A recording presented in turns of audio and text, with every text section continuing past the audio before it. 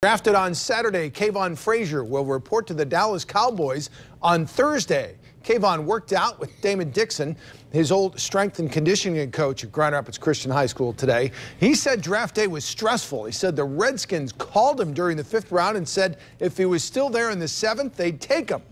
But the Dallas Cowboys swooped in, picked him in the sixth with the 212th pick. Getting drafted doesn't guarantee anyone a spot, so he says he is going to work to make this career last. Well, you know, I'm just going to work hard. You go in there and, and, you know, work hard and stay humble. And really, I'm just going to go in there and act like I wasn't drafted. So I'm just going to have that mindset in my head uh, the whole time I'm there, you know, act like, you know, I was a free agent, act like nobody really wanted me. So I, so I still have something to prove.